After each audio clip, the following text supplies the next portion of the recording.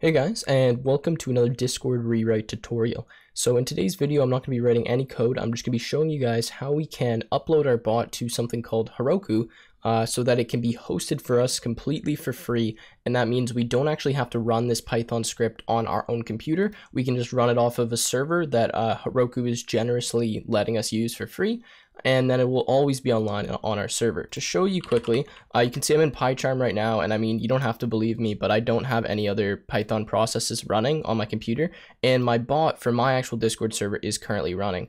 Uh, and you can see, uh, you guys are just looking in the logs, that's fine. Uh, if I go to bot.commands, like people have been using this bot and it works, uh, and everything that we've coded works completely fine, and it's running not off of my computer, off of a server, and it doesn't go offline unless like there's a, an error that pops up or something like that, right? So anyways, that is uh, what we're going to be showing you how to do in this tutorial. So our first step is, well, we need to get to Heroku, okay? So this is, I'm to leave all these links in the description and this entire instruction set will be on my website. So if any of the, um, what do you call it, like the commands I use it or stuff, like you want to copy them rather than typing them out, you can just go to my website, website techwithtim.net and they'll all be up on there. So anyways, I've already created a test bot, but what you're to do is when you go to Heroku, and you can just do this by either clicking the link in the description or just searching it up, uh, you're to click here and you can see I have two bots. So this one is actually the one that's running uh, on my Discord server. This one I just created. So what you're going to do is you're going to sign in or create an account if you don't already have one. Um, I don't, think I need to walk you through doing that. You're going to click on new and then create new app. Now it's going to ask you for a name. Make sure you remember the name that you use uh, and it has to be unique. Now it's going to ask you to like add to pipeline. Don't do that. Just I'll show you here. Just literally make a name and click create app and that's all you need to do uh, to create a new app, and then we're going to go through what I'm going to do right now. Okay, so then you're going to go to open your app. It should already open up something like this, okay? Uh, and what you're going to do is you're going to go to, uh, what is it, deploy. Now, it's going to say, like, it's going to give you some instructions on how to deploy your code to Heroku, because essentially what we're going to do is we're going to upload this to Heroku, and then we're just going to have, like, a command that runs, and it's just going to continually run our Python script for us so that we don't have to uh, run it on our computer. So we're going to uh, do this using Git, but what you have to download first is this Heroku CLI. So I'll actually, I'll leave the link here for this in the description as well. But if you go and you're on here, just click this little thing here that says Heroku CLI and then download that, install that, run through that. Make sure you say add to path if it asks you to do that because you're going to need to do this in the command prompt. Okay, so once you're done that, uh, so pause the video, do that, and then come back to what I'm about to do right now. Okay, so what we're going to do now is we're going to have to uh, get into our directory where our Python bot is. So this is the directory that mine's in. It's in desktop Python Discord tutorial. Now you can do this from CMD um, by just like cd uh, desktop, cd Python, cd uh, Discord tutorial, and that's fine. Now you're in the directory. But if you want an easier way to do this or it's like really far, what you can do is just go up here and type CMD in the actual name of the directory. So in that folder, and it'll open up one that'll automatically be uh, the correct directory. Okay, so once you do that, what we're going to type in is Heroku login like this, okay?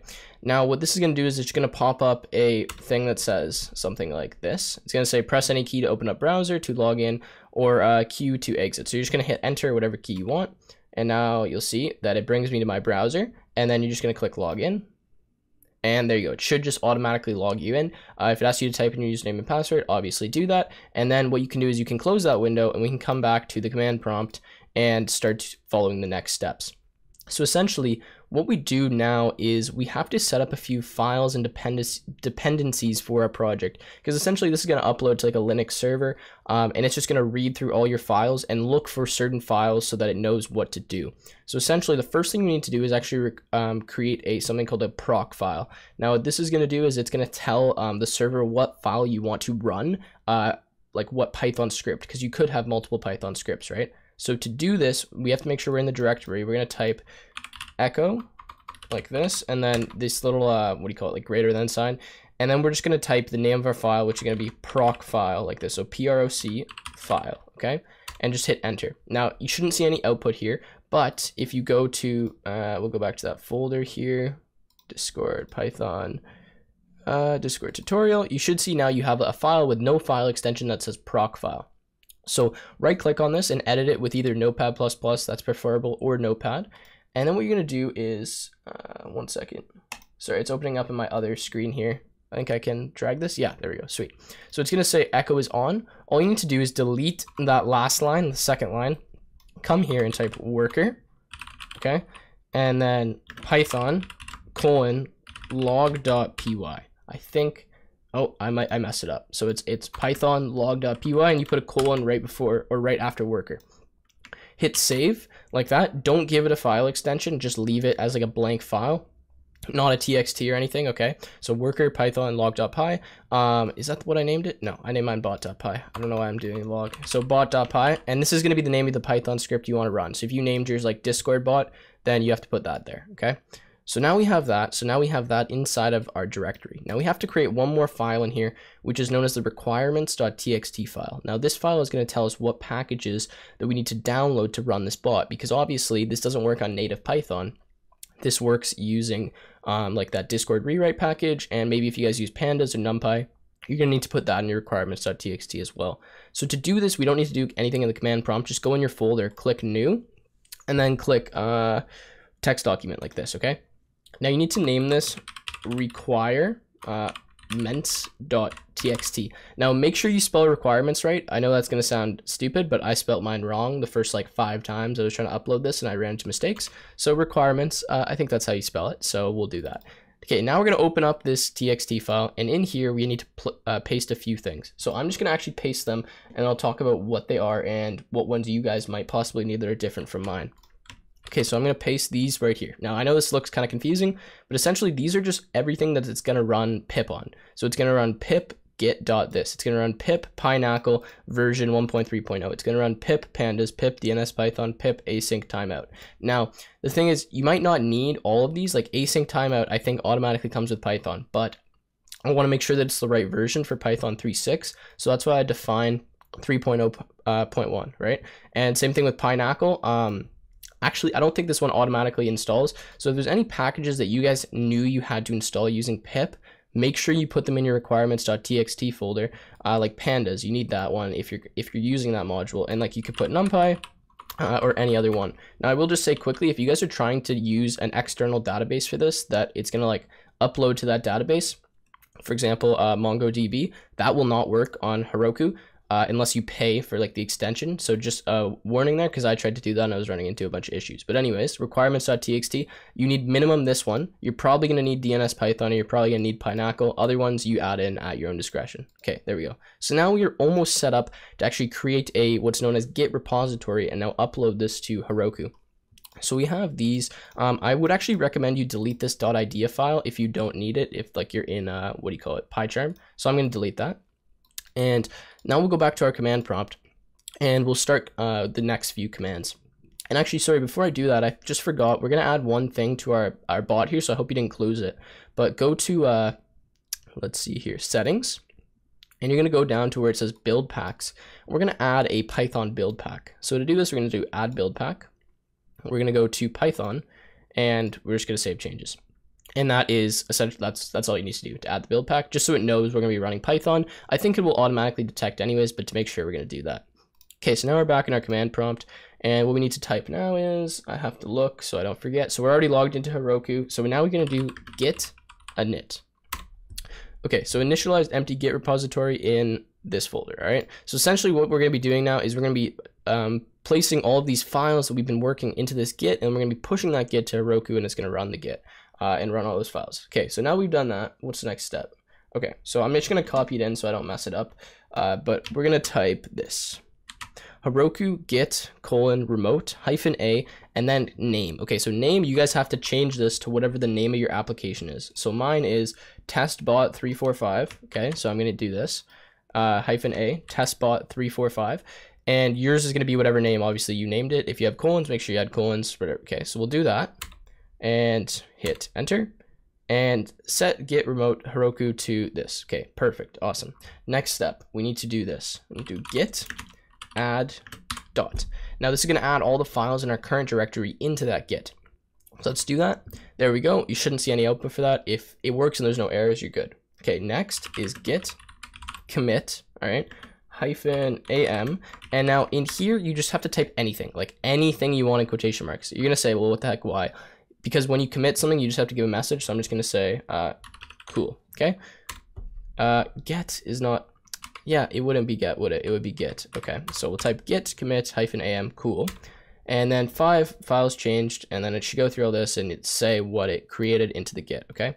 So awesome. Now our last step is to push this to Heroku. And once we push this to Heroku, um, we should actually be working and we'll check and make sure that everything's fine. So to do this, we're gonna do git push Heroku master, okay?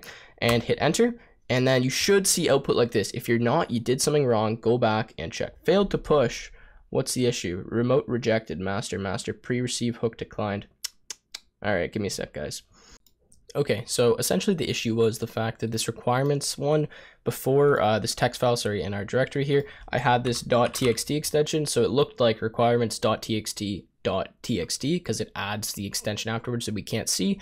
Uh, so that was the issue, so I just have to remove this .txt hit enter we're just gonna have to recommit to our git uh re-add these files this actually is good because it's showing you like if you ever change anything this is the way that you recommit and re-push to Heroku.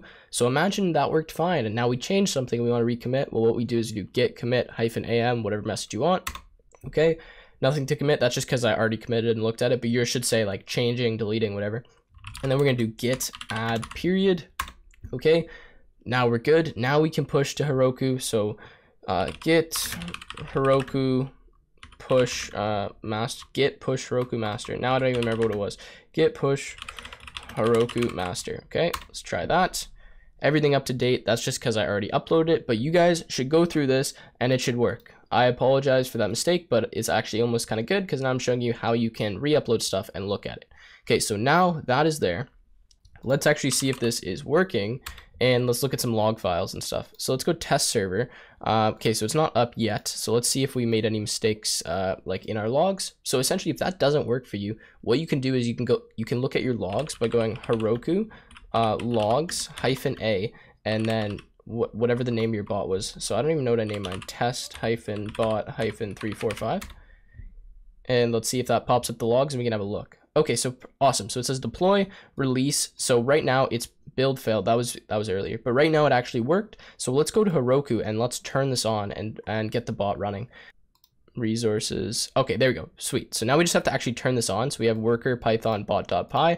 Um, so that showed up. I didn't just add this in. So let's go to this edit tab. Let's turn this on. Let's hit confirm and let's pray that this is going to work. Okay, so now we're gonna come in here and we're gonna hopefully see in like 30 or 40 seconds that this bot turns online. So I'll fast forward and wow, would you look at that? It's online. Okay, sweet. So now it's working. So let's try like hello and then we get hi back and there we go our discord bot is officially on heroku now last things i'm sure you guys have probably already clicked off the video by now but if you want to see uh, how to look at logs and how to manually run stuff on this heroku server what you can do is you can do heroku hyphen uh, or Heroku logs hyphen a. So like whatever i just typed so testbot 345 hit enter and then it'll run the most recent logs for you. So it'll say like what was created. And if you want to see the tail logs because sometimes it doesn't do it you can do logs hyphen hyphen tail and it'll show you the ones at the end. And let's see. And yeah so it goes through and it'll show you the logs uh, and you can have a look. So if anything like failed then you can see that. Now, if you want to run bash on your um, server and like manually run Python scripts, what you can do is you can do Heroku run bash and then hyphen a, again, the name of your bot. So uh, test hyphen bot hyphen 345. Okay, it, it should just take a second to run bash. And then if you wanted to manually run a Python script, you can type Python, the name of the script, and it'll run it for you on the server and it'll give you the output as well. Uh, so for example, I do Python and then I ran bot.py. This actually won't work because my bot's already running, but you could do that, and then it would run that uh, Python script manually for you. When you're done, you can just type exit. This is like a pretty simple Linux command, um, and it'll just get out of that bash for you. So anyways, that has been how to host your bot on Heroku. As always, if you guys have any questions, please don't hesitate to ask me on Discord or in the comments below. If this video helps you out, please make sure you leave a like and subscribe, and I will see you again in another one.